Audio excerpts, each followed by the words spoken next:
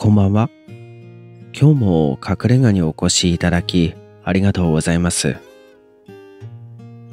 ゴールデンウィークですね。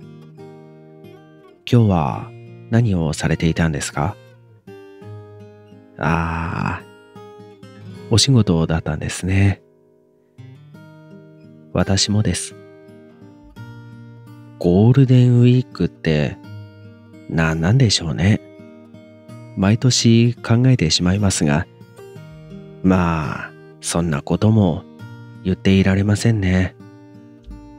こういう長い休みだからこそ仕事が忙しい、そんな業種の方もいますから。ゴールデンなんか全く感じられないような、そんな人間同士、慰め合って生きていきましょうか。それにしても、ゴールデンウィーク、これが終わると、よく聞こえてくるのが、5月病、そんな言葉だったりしますよね。5月病って何なんでしょうね。ああ、もちろん、なんで5月病って言われるようなことがあるのかというのは知っていますが、なんでそんなことが起こるんでしょうね。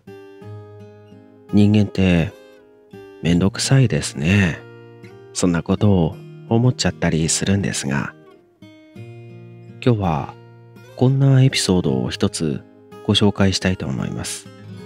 まさに5月病の話なんですが、こんなお話なんです。5月病というのは、入学試験を合格してやっと合格した新入生や新社会人になった人たちが新しい生活に慣れるために一生懸命頑張ってきてそれが5月のゴールデンウィークになると気が休まってその影響で無気力になってしまう。そんな話だと聞いたことはありますが、全く生活環境も変わらない、何も変わらない生活をしている私も、5月になると無気力になってしまいます。これは5月病なんでしょうかこんなエピソードなんです。5月にやる気がなくなるから、言ってみたら5月病なのかもしれませんね。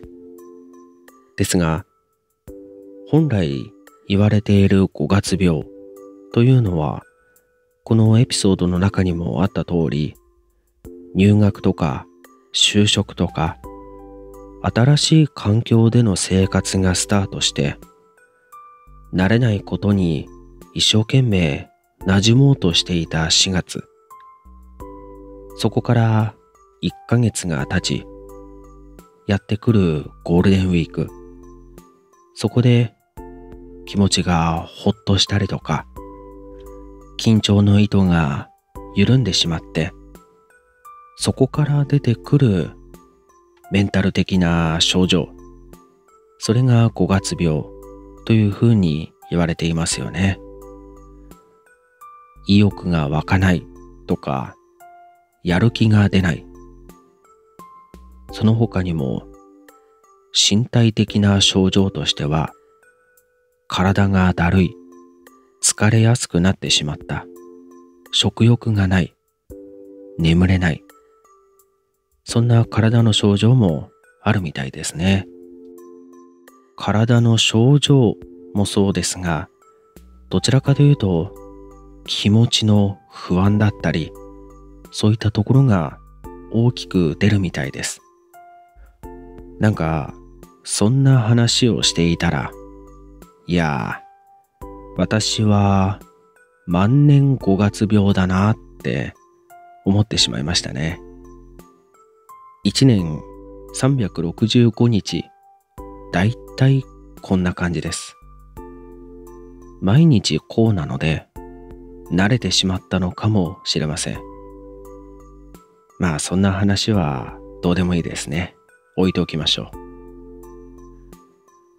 確かに生活環境が変わったり、そういうことがあると不安とかストレスとかものすごいかかるでしょうね。特に新社会人なんかはそうかもしれません。学生の頃まで過ごしていた自分の世界と社会に出てから感じた世界。あまりにも違いすぎますよね。実は私もそのギャップにやられてしまった人間なんです。メンタルが病むとか、そういうところまでは行きませんでした。運が良かったのかもしれませんね。私はどちらかというと、そこを自力で脱出することができました。私も社会に出て、一番最初に勤めた会社、半年で辞めました。逃げるように辞めてきましたね。実際は逃げてませんよ。そこはちゃんとやりました。辞めた後の景色がものすごく明るくて空気がすがすがしかったのを覚えていますね。決してその会社が変な会社だったとか、今で言うところのブラック企業。いや、今考えればブラックな企業だったかもしれません。その時はわかりませんでしたが、とにかく会社のせいというよりは、私自身が会社で働くとか社会人として生きていくとか、そういうことについていけなかった気持ちがそこに適応できなかったということが正解かもしれません。とにかく苦しくてしょうがなかったんですよね。別に働きたくないとか仕事をしたくないと強く思っていたわけではないんです。もちろん働きたくないなっていう気持ちがなかったわけではないですがそこは大した理由ではないです。どちらかというと今まで学生時代でもなんだか納得できないことが多かったり、理不尽だなって感じることがものすごく多かったのに、社会に出たら、それの比じゃないほどの理不尽なことっていうのが溢れている。そんなことに気づいたんですよね。そしてそれに立ち向かっていったとしても、たかだか社会に出てきて一年目の若造は何もできない。歯が立たない。そんなことを痛感しました。それでも半年間、これはもうしょうがないことなんだ。これが社会なんだって自分に言い聞かせながら頑張っていたんですが、ある時耐えられなくなったんですね。意を決してやめました。やめた後のことなんか何も考えてません。若かったですね。今ではそんなに思い切った行動できなかったりもしますが、当時はすぐにやめました。辞めた後は、なんやかんやあって、縁があって、今働いているところで拾ってもらえたので、そこからはずっと今の仕事を続けています。ですから、5月病だとか、そういったものに悩まされている人たち、きっとそうなってしまったということは、少なからず、その4月の間は、自分の中では頑張ったんだと思います。慣れない環境になんとかついていこう。自分の心のギャップみたいなものに気づいていながらも、でも頑張っていこう。そうやって過ごしてきた1ヶ月だと思うんですよね。ですが、やっぱり自分に無理をして頑張るというのは良くないのかもしれません。そこで頑張りすぎた結果、5月病、そういうものがやってくるのかもしれませんね。今日のエピソードの方は、自分が新しい環境になったわけでもないのに、毎年5月になると5月病みたいな症状が出る。そんなお話をされていました。これは、きっと季節の変わり目みたいなところもあるのかもしれません。私も3ヶ月に1回のペースでものすごくメンタルが落ち込むことがあるんですよね。その時に3ヶ月に1回って言ったら全部季節の変わり目だっていうことに気づいたんですよ。ですから人間は季節の変わり目というのはそもそも不安定になりやすいようになっているのかもしれません。それもまた5月病に追い打ちをかけているのかもしれませんね。社会人1年目で盛大につまずいた私ですが、そんな私が5月病を乗り切る方法なんて言うと大層な話ですね。5月病にならないようにするために大事なことって何だろうかって考えてみたんですね。すごくわかりやすい答えでした。5月病になってしまうような人たちは、私もそうなんですが、仕事と仕事じゃない時のスイッチをしっかり切り替えられるようになるといいですね。仕事が終わったら仕事のことは一切考えない。自分の好きなことだったり、そういうことをたくさん考える。仕事の時は仕事のスイッチチを入れる。会社から一歩出たらスイッチを切る。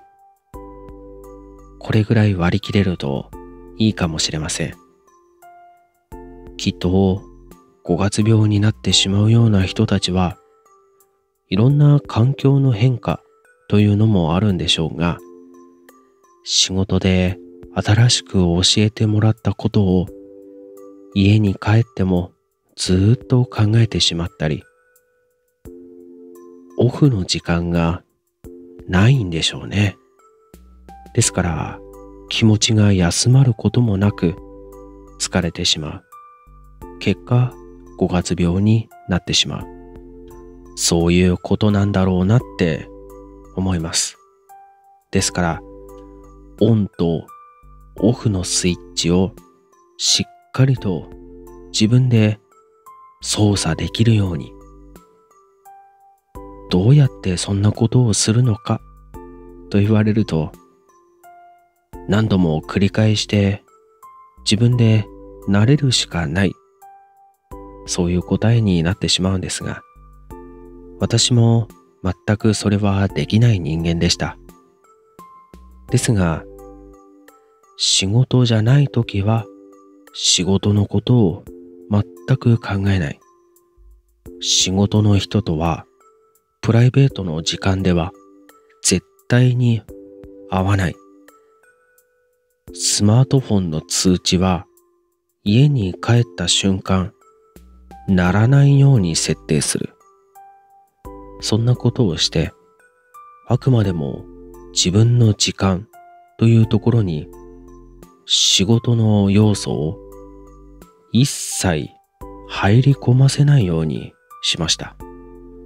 もちろん最初は意識的にやっていたんですが、それも長くやっていると日常のことになるんですね。無意識のようにできるようになったりしました。スイッチをオフにしているときは自分の好きなことにのめり込むもよし、ゆっくり過ごすもよし、ただただ誰にも邪魔されない自分だけの世界で過ごしていく。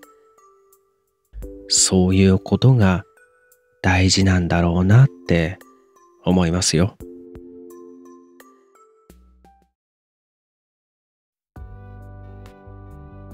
最後に一つだけ大事な話をしてもいいですか？今日は5月病の話をしました。そしてスイッチのオンオフをしっかり自分で操作できるようになるといいですねって話をしたんですが私は気づいてしまったんです。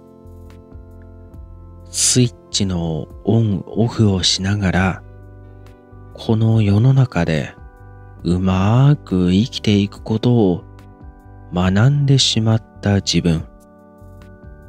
なんかそれって寂しくないですかね？もちろんそうやって自分なりにうまく乗り越えていく方法というのを知っていないとこの世の中生きていくのがただただ大変だったりするんですがなんでそんなことまでして頑張って生きていかなきゃいけないんだろう。そしてそれをするために自分でなんかいい方法を見つけちゃった。それを自分の中に取り込んで馴染ませてしまったっていうことがなんだろうな。うまく言葉にできないですが世の中に負けた感じがしてしまいますね。変ですかねこの考え方は。何にせよそんなこと言っていてもしょうがないですから。オンオフしっかり変えながら明日もまた頑張って生きていきましょう。今日も隠れ家にお越しいただきありがとうございました。また誰かのエピソードに触れたくなった時とか、あなたがお話ししたいことがある時は、ぜひお立ち寄りください。それでは、おやすみなさい。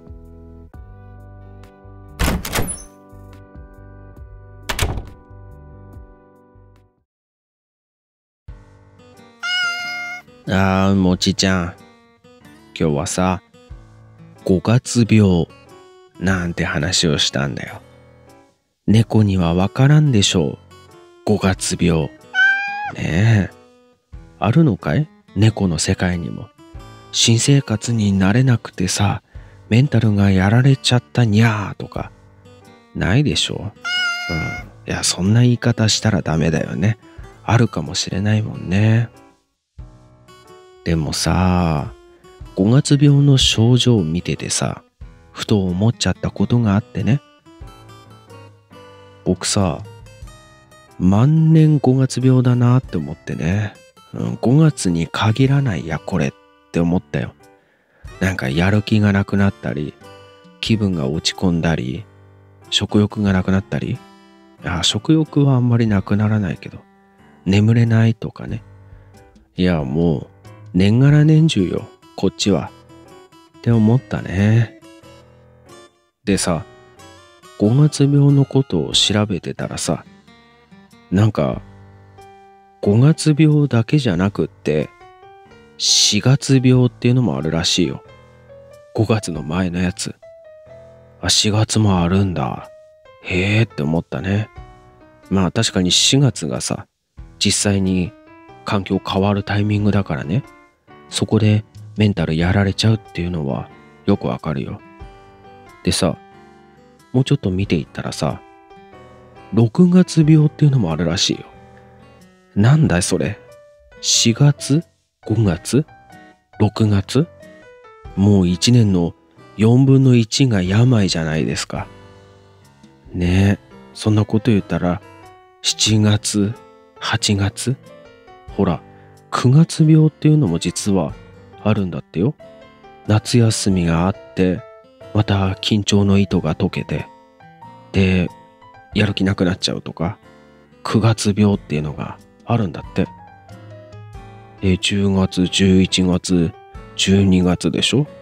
ほら、もう、年がら年中だよ。